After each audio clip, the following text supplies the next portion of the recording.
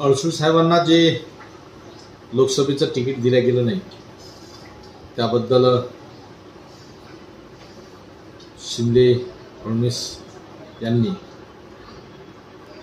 त्यांना राज्यपाल पदाचं जे आमिष दिलं ते मला नाही वाटत की ते शक्य आहे. आणि निवडणुकीपुरता त्यांचा वापर हा निश्चित झालेला आहे. त्यांना कदाचित राज्यपालपद हे दिलं जाणार नाही. काहींचा सूर आहे की महाराष्ट्राचं राज्यपालपद त्यांना मिळणार आहे.